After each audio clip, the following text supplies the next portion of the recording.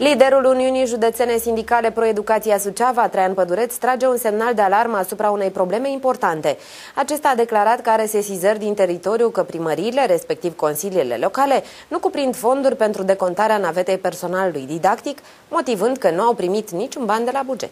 Traian Pădureț consideră că este și în interesul tuturor comunităților locale funcționarea normală a sistemului de învățământ, prezența cadrelor didactice la locul de muncă și desfășurarea unui proces de educație normal. Totodată, acesta a precizat că, în cazul în care naveta profesorilor nu va fi decontată, se va recurge la instanță. Probleme sunt cam în toate localitățile. Cu decontarea navetei am fost sesizat de mai mulți lideri de, de sindicat din teritoriu că la întocmirea bugetului pe localități foarte multe primării, foarte multe consilii locale încă nu au bani pentru a prinde la buget decontarea navetei personalului didactic. Chiar dacă în ordonanța de urgență 83 de 2014, care se referă la bugetul, executarea bugetară pe 2015, la articolul 37 alineatul 2 se prevede cu claritate că fiecare comunitate locală trebuie să cuprindă la buget sumele respective. Deci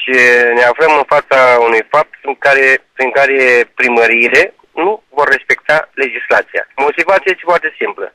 Așa, după cum știți, în acest, pentru 2015, de la bugetul de stat, banii nu s-au mai împărțit pe localități prin consiliile județene, ci direct de la guvern. Ne vedem în situația de, de față ca și primăriile care până acum decontau naveta să nu poată să deconteze din lipsă de bani. Probabil că în România s-a ajuns la o situație aberantă, uh, care a apărut din 2009-2010 uh, încoace, prin care, ca să se respecte o lege, trebuie să mergi în instanță. Aproximativ 85% dintre localitățile județului Suceava se află în imposibilitatea de contării navetei cadrelor didactice, potrivit liderului de sindicat Trean Pădureț.